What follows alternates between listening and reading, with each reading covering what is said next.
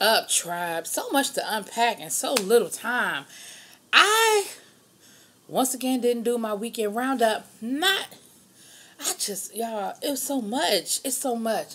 But here's the thing. I was planning on doing it Sunday. But stuff just kept going on and kept happening. So here's the thing. I'm going to unpack a few things. So the first thing I want to unpack is this whole Tamar Iyanla. Now she beefing with Funky Dineva. Here's what I want to say about about. Let me start from the beginning. What I was going to say about the whole Iyanla uh, situation is this. I'm not going to speak on her revelation to Wendy Williams about the the sexual abuse. Not my thing. Not going to speak on it. Nope, hands off. But what I am going to say is she said that she felt like um, Iyanla talked to her crazy and was disrespectful and was shaming her because she had gotten the secret from somebody else and she found out that she was going to sort of, I guess, sort of got you with it, which I don't. I don't think she was gonna got you with it. I'd have to see the footage to see how it actually came down the pipe because Tamar is a drama queen and she sees things her own way. Things she interprets things her own way that didn't happen that way or weren't said that way, and she hears what she wants to hear. I don't think that that's what happened. I do think that what was told to Tamar was that Iyanla knows about the abuse and maybe that it was going to be addressed or brought up or whatever. And Tamar's not ready for that. But then she went on Wendy Williams. So I need to see the footage and find out exactly what happened with that whole piece. But I'm not going to speak on it um, in reference to her experience and, and um, her abuse. What I'm going to say, though, is this. I look at going on Iyanla Vanzant the same way I look at people who go on Judge Judy or people who used to try for American Idol when Sam, Simon was a judge the first season, maybe the second season, I'm going to give you the benefit of the doubt. By the third season, you know what the fuck you're getting, and I don't have no sympathy for you. So for for people who used to be like, his Simon is so mean, I can't believe he's being that mean. What the fuck did you think he was getting? He been mean to everybody else. Did you think you were gonna get something different, something special? Hell, he had to eat crow and apologize to Jennifer Hudson because of the stuff he said about Jennifer Hudson, and then her ass turned around and won a fucking Oscar. It's not that I think that's just who he is. And when a person shows you who they are, believe them. Same thing with Judge Judy. They be like, she don't have to be that nasty. She don't have to be that rude. Okay, maybe not. But you ain't got to go on her show. That is all voluntary. Ain't nobody making you go on Judge Judy. You choose to let your court case go to Judge Judy for whatever people's reasons are. So you can't be mad that when you get there, she start acting a daggone fool. That is what she does. And then I had a, a friend who had a family member that went on there, and she said, well, the producers were telling them that, you know, that they wanted them to be feisty or they wanted them to talk back because they wanted to create a moment. That's what TV is creating moments. She ain't been on the air all these years because she don't know how to create a moment. So, I mean, these are real court cases, but of course, sometimes people act a little feisty or act a certain way or do certain things because it makes for good TV. Because the thing about going on those shows is that your case is taken care of. That's the incentive to even go on the show. But I ain't going down that road. So when those sisters agreed to go on Iyanla Van Vanzant, you knew what the fuck you was going to get. First of all, Traci has already dealt with Iyanla when she did the Sober House. When Iyanla's first show, way, way, way, way, way back in the day, Towanda went on there. And Towanda went on there because she said she felt like it was um it was Iyanla, it was Sober House, and I want to say it was on BET long time ago, long before she got her notoriety. I mean, she was known obviously because they had her do the show, but she wasn't what she is now. And it was before the Oprah and before the books and stuff like that. And Towanda went on there. And one of her issues when she went on there was her relationship with her sisters. And she felt as though her sisters sort of um, they didn't agree with this right like around the time when she first got married. I don't even know if she had children at that point. But that was one of her problems with her relationship. And she said that and her big issue was with Tamar.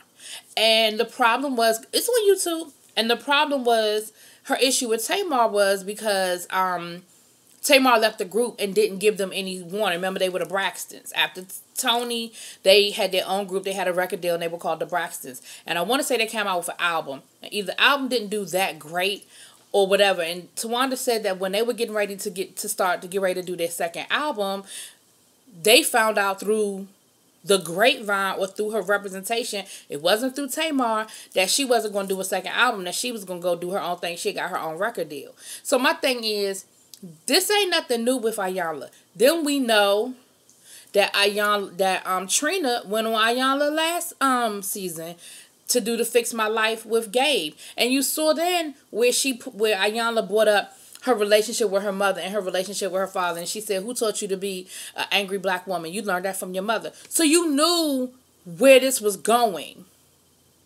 when y'all agreed to let Iyanla come in and fix y'all relationship. TD Jakes couldn't fix y'all relationship. I want to say y'all talked to somebody else and they couldn't. Fi- y'all done went to another counselor. Y'all have been to at least three different counselors, and they can't fix y'all relationship. So you go to Iyanla, and then you want to get mad because Iyanla does what she does. That's what she fucking does. You know, she she she comes raw. She comes real. Maybe some people think it's too real or too raw or artificially raw. You know, like it's a whole lot of stuff with that. But that is who she is. That is what she does. So you coming up now and being in your feelings and being mad, I just can't have a whole lot of sympathy for that. I, okay. So then you go on Wendy Williams because you you go you tweet about Rhonda and how she's the devil. That's Iyanla's real name in case y'all don't know that. And how she's the devil and this, that, and the other. So you I guess you decide that you're gonna tell your own story and not allow them to tell your story for you. So you go um I'm sorry, so you go um on to Wendy Williams of all the outlets. You go to Wendy Williams, but okay, y'all have you have a relationship with Wendy. You've been on Wendy a few times. You and Vince went on Wendy when y'all started having problems. Like y'all, Wendy is your girl. Cool. Wendy didn't even know what you was gonna say, cause Wendy's face was just like, uh, mm. Cause trust and believe, you know, Wendy knew she was getting that exclusive and getting that type of bombshell. That honey, whoa, whoa. Um, then last night with the Queen's Court, which I'm going to do my Queen's Court review in a few minutes. But last night, well, I might just, no, I'm going to do it separate. Um, with the Queen's Court, Funky Dineva, you were on the docket. And Funky Dineva had a lot of things to say about you personally. Funky Dineva spoke on you personally.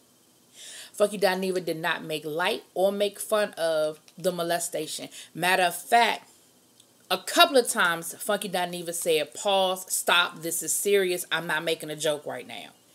And when he was addressing your relationship, your situation with the molestation and the abuse, he was very clear to say he was not making fun and he was not making a joke of it. Now, he did roast your ass about your Nigerian um, boo and how he might be scamming you and how your sisters better watch their credit and their social security number. He did roast you about um you not visiting Vince in the hospital. He roasted you now, but he ain't roast you over that. So, what I think happened James Wright is a fan of the show. He's been at a live taping. Him and Maddie seem to be friends, or a friend is too strong of a word, very cordial. I think he was watching the show. And I think he let Tamar know what was going on. And or Tamar's fans tagged her. We all know that Tamar is a internet troll. That she she's like a Cardi B. And she's on even a higher plane than a Cardi B is, but she does that same shit Cardi B does. She sees for mentions, she sees what people are saying about her, she sees what comments are being made about her, and she fucking claps back like she ain't got shit else to do. Tamar, you are a grown ass woman with a child, a husband, and a boyfriend now. Now I don't know if your Vince uh, uh, uh, divorce is final, but neither here nor there. You are a grown ass woman with grown ass woman responsibilities. Why the fuck are you worried about what somebody is saying about you on the internet show? And that is no disrespect to the Queen's Court, none whatsoever. You know I love me some Maddie, and you know I love that show. But I'm just saying, in the grand scheme of things, you really about to clap back on somebody who's giving their opinion, and that's what they do. Everybody know what the fuck Funky Dineva does. That is what he does. That is what he been doing. And for you to get that bent out of shape and that upset, excuse me, over that the roasting gag, like really, and I don't even like that term roasting gag because I think it's been overused in the last couple of months with this whole Kaya TS bullshit. But for real, for real, that's really all it was. And you weren't you were on the docket. They said their piece and they moved on. And for you to come into the live show and then be wrong and then be wrong and then be wrong because um Funky Dineva, aka Quentin, because we can address him however you want to be addressed. He ain't say shit or make fun of your abuse or your molestation. He did not. He did not. So whoever went running to you with that messy shit, First of all, I don't even blame them. I really don't. I don't blame the people who told you. I blame you for not getting your facts straight before you come up in somebody motherfucking feed talking shit. That's what I blame. You and Maddie are friends. Pick up the phone and call her and say, girl, why you let that man drag me on your show? And then Maddie could have responded accordingly. You got Maddie number? Call her. So that's that. That's my two cents on that. I'm gonna drop. I'm gonna come back with my Queen's Court review, which ain't gonna be real long. Um, I, I'm trying to decide if I got anything to say about this Katt Williams piece. I I don't know. It's been it's a lot. It's that that's a whole lot of layers too. God darn. And every time I think is a story you you done, Katt Williams do something else. So I don't know. But anyway, y'all, y'all let me know what y'all think. Do y'all think that Funky Dineva was wrong? Did y'all see, before y'all answer, did y'all see the show? Did you see what Funky Dineva said and did not say? Because be, be clear, before you start talking about what somebody guilty of, make sure you saw the show. So go over to T.S. Madison page, watch the show. It's early on in the show. It's like within the first 20, 30 minutes of the show where they talk about this whole Tamar piece. Then give me your opinion. Let me know what y'all think. Peace.